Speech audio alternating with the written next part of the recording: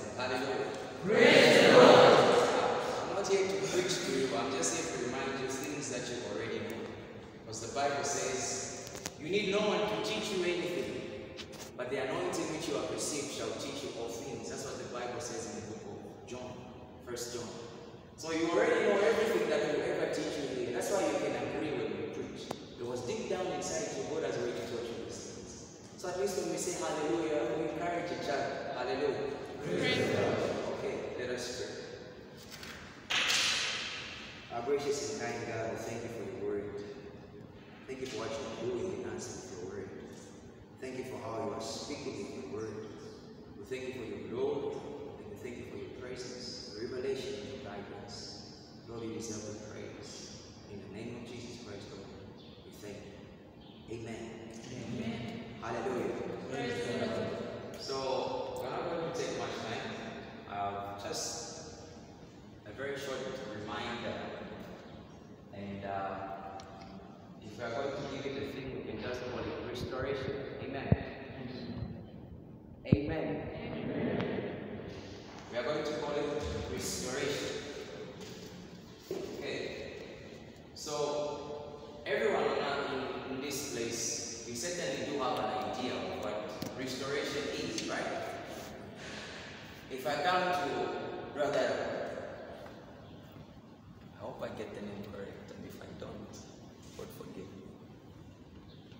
brother Andy. Is that correct? George. Okay. I just know him as the brother Muslim. Brother George Favor Salungu. Those are the names, right? Then I know me at least. Hallelujah. If I come to him, can I have a face mask? And I take this face mask away, right? I've taken something that belongs to him. It's no longer so restoration is me returning this thing back to the owner. Hallelujah. And he puts it where it's supposed to be. Amen. Someone's still not talking. Amen. Amen. Now, we have a theme as a fellowship this year. We're talking about restoring souls. So are we saying that souls have been lost somewhere and they need to be taken back and be put back in the body? No. There's certainly restoration that is taking place. That's the type of restoration that we are going to learn about in just a few minutes. Amen. Now, in the book of Genesis, chapter number 4, oh, 2 verse 7 actually, we are told that when God formed man out of the dust, once upon a time man was just a statue. He was just erected.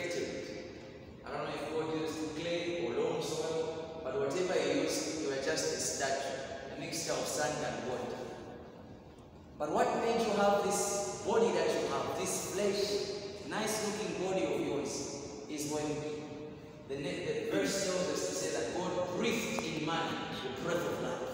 Hallelujah. And after man received that breath of life, the word of God tells us that man became a living soul. Now, notice one thing there. The Bible did not say God created the soul and put it in man. No. God only breathed in the body that He had created, and man became a living soul. So the soul was as a result of the breath that God had put in man and the body interacting, then the soul was produced. Amen. Amen. Amen. Now, you where you are seated right there, I'm only able to see one part of you, and that is your body. The other two parts I'm not seeing. That is your soul and your spirit. Where is the spirit coming from? The same breath that God breathed in man. That is a spirit that is inside you. That is the real you. Hallelujah. Hallelujah. Praise the Lord. I'll be emphasizing until we are all responding because you already know these things. I'm just reminding you. The spirit that God gave you, the breath, was when you look at the interpretation of the word spirit, when you really look at it from the roots, it just means wind. Hallelujah. So the same breath that God breathed in you, that's the spirit that's inside you. Now, when that spirit interacted with the body that God had formed, a soul was produced. And the Bible says, and man became a living soul just after the breath of God entered him. Amen. Now, how can we differentiate these things? Because right now, when we say entry, you're only able to see this, this body. You're not seeing my soul. You're not seeing my spirit. Unless I know some of you have got good eyes and spirit, you can see that. But on normal occasions, if I say first, the only thing that comes to mind is this body right here. When we read in the book of Hebrews, chapter number 4, verse 12, we are told that the word of God is sharper than any sword you can think of. It can divide the soul and the spirit, and joints and marrow. Where do you joints and marrow? That's the body. So the word can put a distinction between your spirit, your soul, and your body. It can divide the spirit. Hallelujah. Hallelujah. I feel like we can try it today. We'll get one person here and use the word of God and divide you. We'll put your soul in and also put your spirit in, and your body will remain there. Who can volunteer? No one is willing. Hallelujah.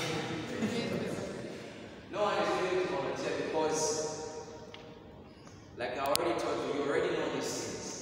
You know that the moment your spirit is no longer in your body, you are dead. We'll go and bury you. Man stops talking, man stops thinking, man stops even to smile when the spirit is out of the body. He has died. But it, does the soul remain in the body? No. The soul goes with the spirit. Jesus Christ said, What is the profit of gaining the entire world but lose your own soul? Hallelujah. Hallelujah. Until we are all agreeing, I won't stop saying hallelujah. Hallelujah.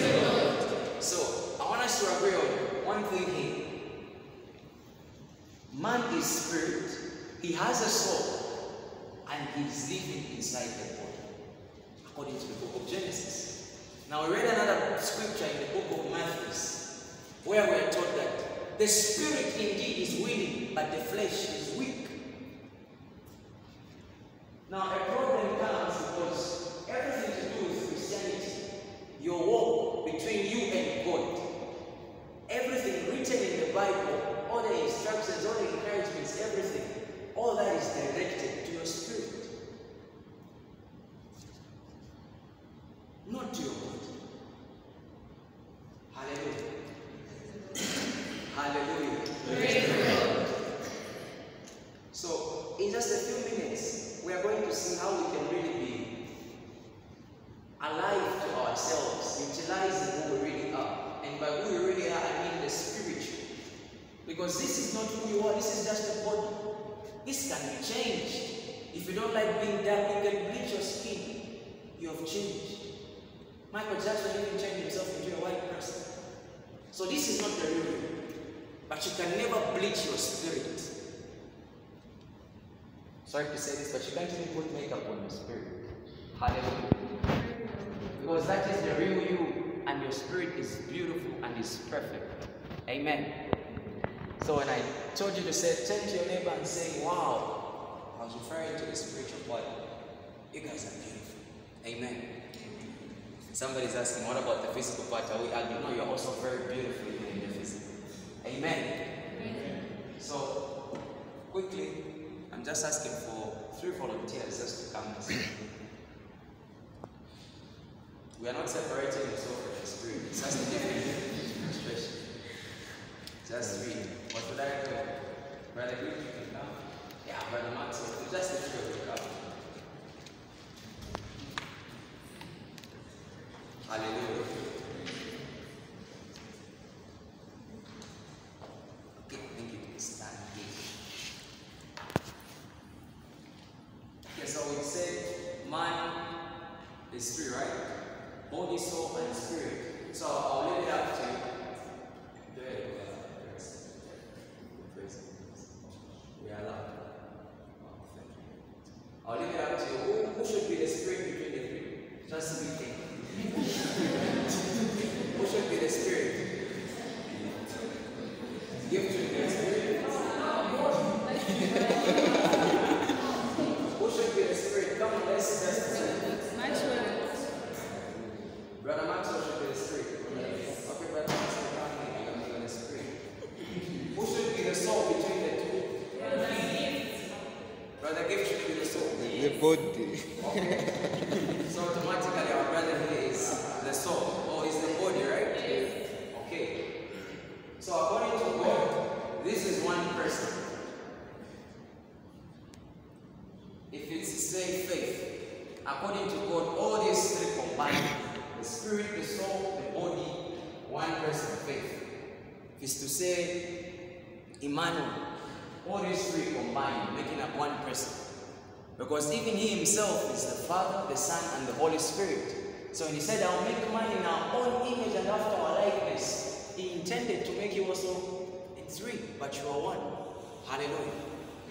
Now, everything to do with God is spirit. God himself is spirit, is not flesh. And when you read the book of John, chapter number 6, verse 63, the Bible says it is the spirit which gives life. The, the flesh profits nothing. The words which I speak to you are spirit and life. So the word of God that we listen to every day, it is spirit, it is not physical. It is not fleshly. Nor, neither is it soulish, but it is spiritual material. Amen. Now, if we have time, this is a very broad subject. It can take us two months to learn, but by the grace of God, we'll learn in three minutes. Amen. Some are still not saying amen. Amen. Amen. Now, this spirit, if we look in scripture, the same breath that God gave you, who is the real you, he has three components.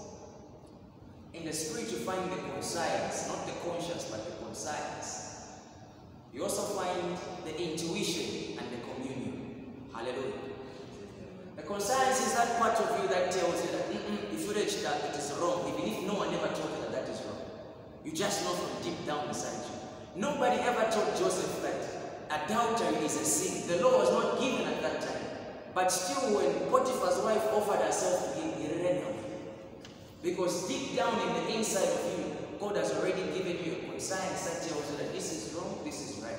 Hallelujah. Praise the Lord. Inside the spirit again, you find the intuition. The intuition is the part of your spirit which is responsible to hear from God. Everything that God will say, it's your intuition that hears it. You also find another part called the communion. The communion part of it is the part responsible for talking to God. Prayer, worship, everything is He. Hallelujah. We come to Mr. Saul. He's a very important key player when it comes to man or. Because anything that this guy does, the spirit, the one who is hearing from God, the one that walks with God, if he does not transfer it to this guy, and this guy does not tell the body what to do, it will just stay there and it will be as if nothing has happened. Hallelujah. So the soul, you find three things in the soul as well. You find the will, the emotions, and the mind. Hallelujah.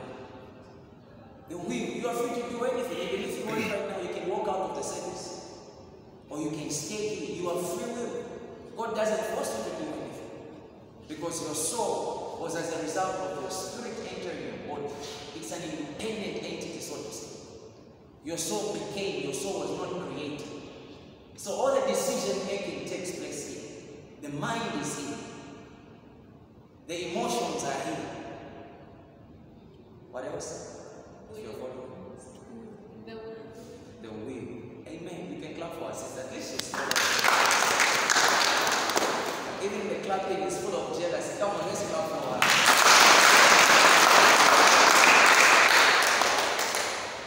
So, the spirit, having the communion, the intuition, and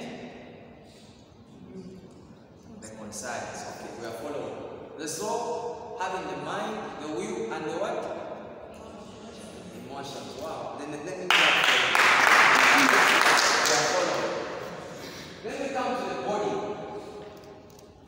The body has a brain and it has this physical structure as well. Hallelujah. Even if you go to science and ask them what is the difference between the brain and the mind, they are still haven't reached a, co- a conclusion up to now. Debates are still on there. Because they cannot locate the mind anywhere on this body with their machines. The mind is found in the soul. Here there's only a, a two or five pound brain that coiled material you have inside you. It's disgusting, to be honest. It doesn't look good. How many like the picture of the brain? Me, I don't. Okay. That's nice. At least somebody likes the picture. So that coil thing, that's the thing you are here for at school to train. Everything they are teaching you, are taking it to your brain. That's your body. Hallelujah. Now, this guy here, they're even finishing up. This body was made from the ground, right? So his number one commitment before anything else is what is found on earth because his very material comes from earth. This guy here is a combination of the two the earthly material and the spiritual material. So this guy is undecided. No wonder he has free will. If he decides that no, I'll be more focused on the earth, then that's it. Or if he decides that I'll be more focused on the spirit, then that's it because it's a combination of the two. But this guy here, the spirit, is not a combination of anything. It's just one, one material. He came originally from God. And he was put in the body. So everything that God will say, everything that God will reveal, it's this guy to catch it. Your body will never hear God talking. Your soul will never hear God speaking. It is your spirit that does that. If you were to move your spirit and just live with your soul and your body, and you bring a child there and say, kill him, you will kill the child without hesitation. Because these two have no conscience. There's nothing that tells them that what you are doing is wrong.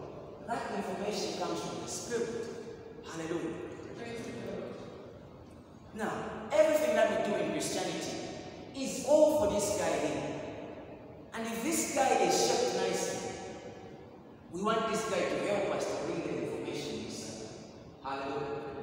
So if God says, Brother Maxwell, go to church, tell him that go to church. You tell to go to church. And he goes to church. Hallelujah. But if these three are not united, there will be a problem. God will speak. Brother Maxwell, go to change. Say, go to change. No. You keep quiet. Will he go to church? No. It's as if he never even heard God speaking in the first place. So the problem is not that God does not speak to you. Trust me, God speaks to you 24 7. In the 24 7 is even a little bit of an exaggeration. The whole Bible actually 24 7 is why I wake up. Maybe 9900. He speaks to you every moment. Even if right now you just tune into your spirit and say, What is God saying? You will hear a lot of things. God has a lot to say. And this guy has the privilege of listening from God. But the problem is conveying the information from here to here and here. Hallelujah. Because the information that he receives, communication he receives from God, is too complex for the body to understand. God does not speak with a voice and say, Emmanuel, go to church. That's not how God speaks. I know that's what they showed us in Hollywood when we were growing up. Rise up. My God is speaking. No, that's not how he speaks. If you follow scripture nicely, the Bible says, in a very small voice. The voice is so small that only guy can catch it. And when this guy catches it, he has to send it to this guy and this guy to the other guy. These three are important to work in unity and not against each other. The spirit alone cannot do anything on earth without the body. That's why for Jesus even to come and die for you and me, he needed a body. He couldn't just come out of heaven and say, I've, arrived, crucify me, we, we finish this. No. He had to be born of a woman. Imagine Mary had to change even the nappies of Jesus. Imagine Jesus, they're taking his diapers away, throwing them. It's, it's not a sin to imagine that it, it happened. Mary used to birth Jesus. Maybe who knows? If you tell him, ah, we don't. Don't you know that you are the savior of the world? For real. So Jesus understands everything you can ever say. If you ever say, Lord, I'm weak, I don't feel like I can do this, he understands because he's been a human before as well. Hallelujah. I think we can clap for Jesus.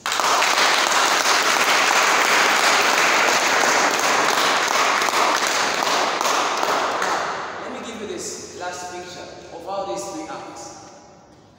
It's like if this is a company, right? The spirit is the manager, the soul is the supervisor, and the body is the worker. Hallelujah. So, anything that the company owner wants, let's say God is the company owner, he tells the manager, the manager has to tell the supervisor, and the supervisor will tell the workers what to do. Actually, remember, this guy is split in two. He listens here and he also listens here.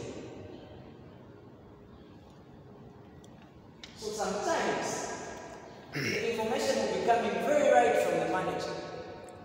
But the soul will be like, ah, should I go with? Oh boy, what are we doing on earth? I think we are compassion. Nindeka. That's the soul. And this guy doesn't have power to say, so I punish you, body I punish you. No. Because he needs the tool to work with him in cooperation. Hallelujah. So when we preach this word to you, we are not sending it to your body.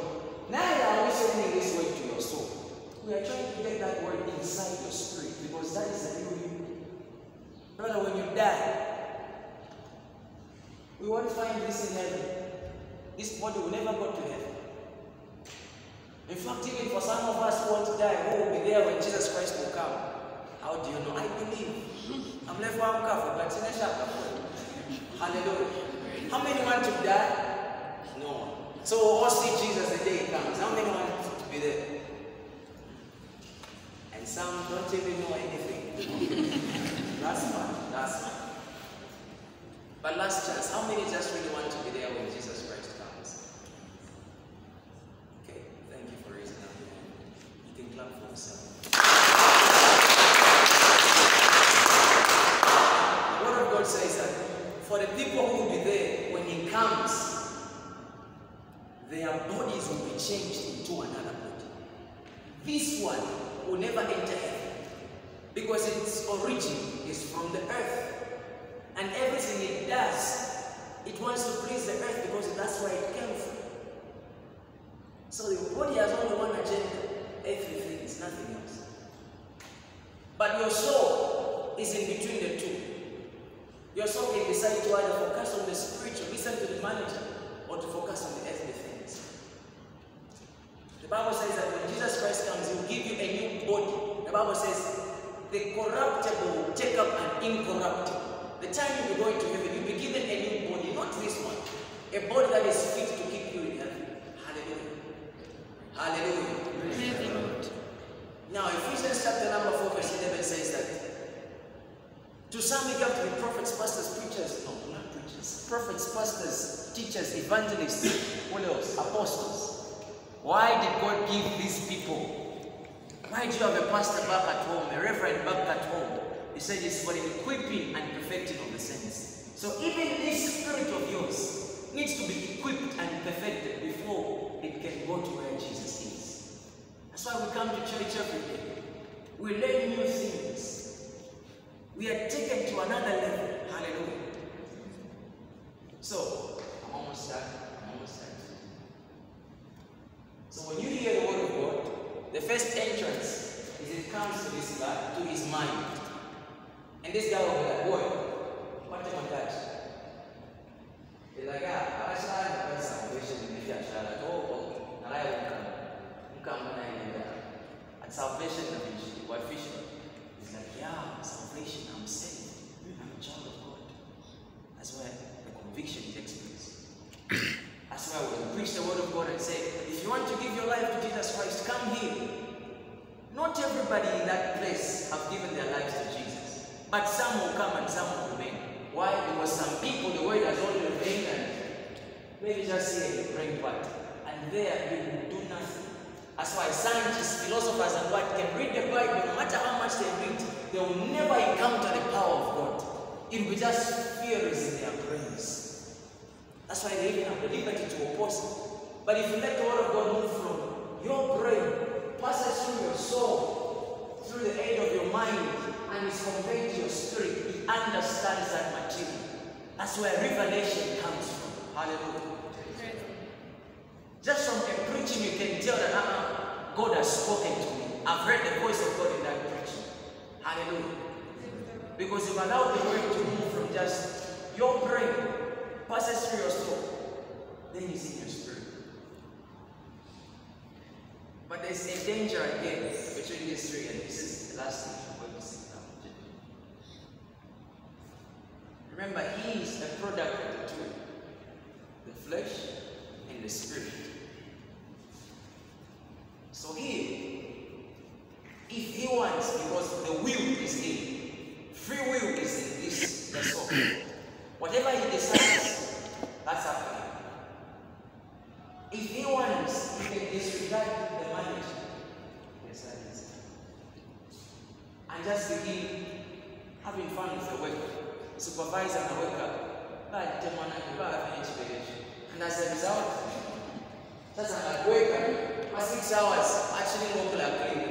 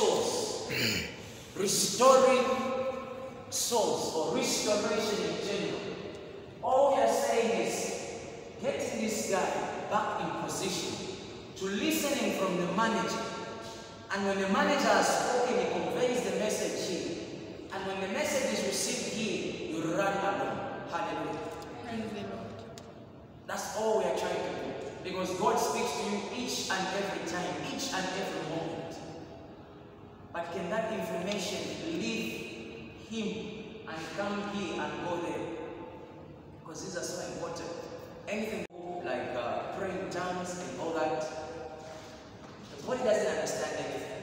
Neither does the mind even understand anything. That's why to some people, it's a mockery to say, oh, perfect Elijah. But take a moment and ask the Spirit to say, do you know what you are talking about? He will explain everything that you are Because that conversation is not between the soul and God or the body and God. It's between the Spirit himself and God. They know exactly what they're talking about. But unless that is broken down to the level that the mind can understand or a body can understand, it will be just making life very, very abundant. The Bible says that when Jesus Christ was baptized, a voice spoke from heaven, This is my son in whom I am well pleased. Did everybody hear that voice? No. No matter how loud God will speak, if it's not your spirit that is listening and passing the information to this guy, it'll be just noise. It's like when dogs are barking can. I think I can remain the poet. No, you can go and sing. we can clap for them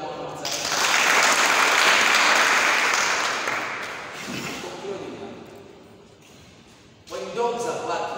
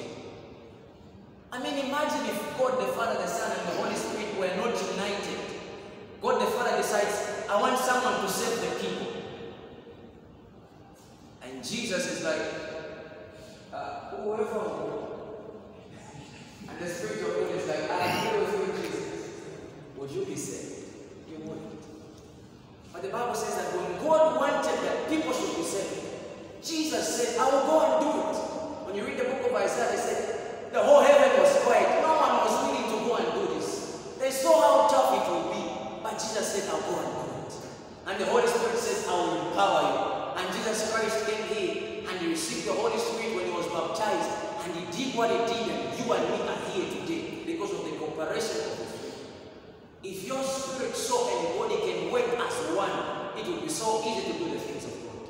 Trust me, even if you hate us, saying, Namambo kwepasana, but it can be One day we'll meet in heaven and we'll be like, I thank you so much that you were overshooting when you were praying. Because my spirit has benefited something. Your body will remain here. And if you die before Jesus Christ comes, we'll bury you. But we know we'll meet you somewhere.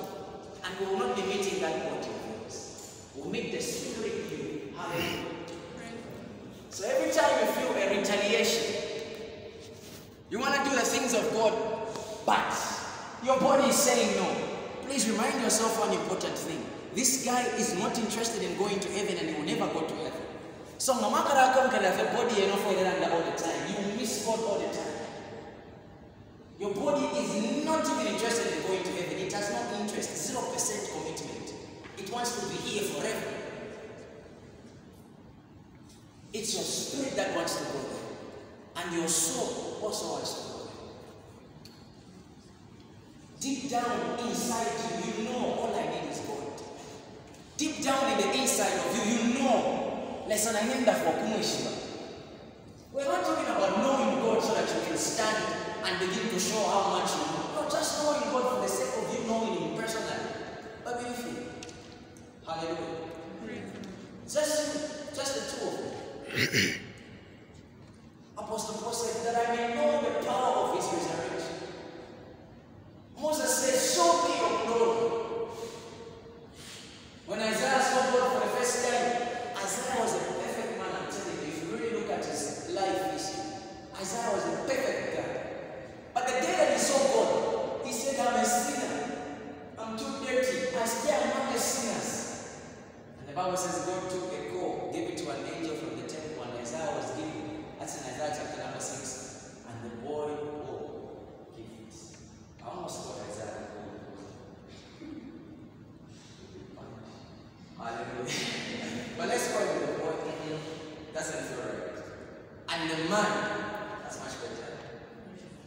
Was.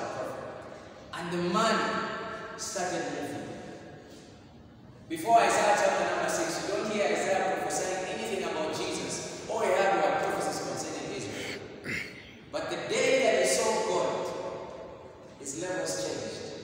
The man began prophesying about the coming of Jesus. What will happen after he comes?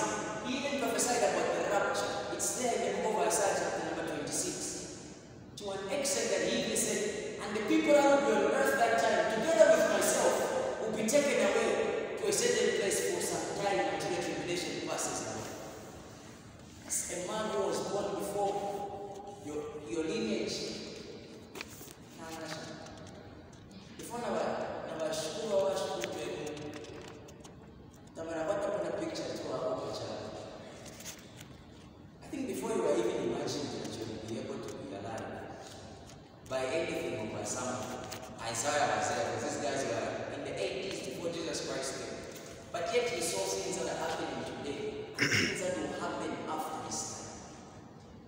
Or because his spirit encountered God, his soul cooperated, and his body did the same thing. Hallelujah. Hallelujah. Now, let's finally end this message so that we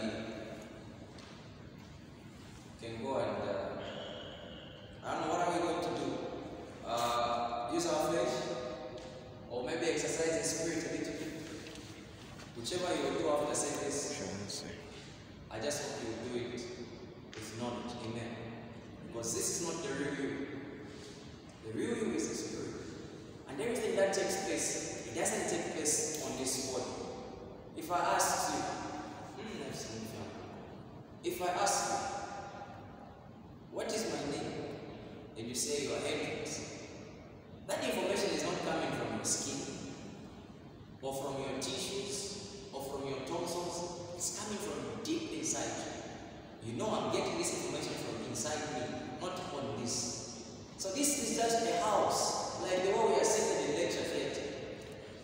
The body is just a house, it's not the real you. The real you is a spirit. So whenever it comes to the things of God, the decisions that you make, make sure you're not favoring this guy because this guy is not interested. He's only interested in things that are of this world, nothing else. Hallelujah. Now I'll read one scripture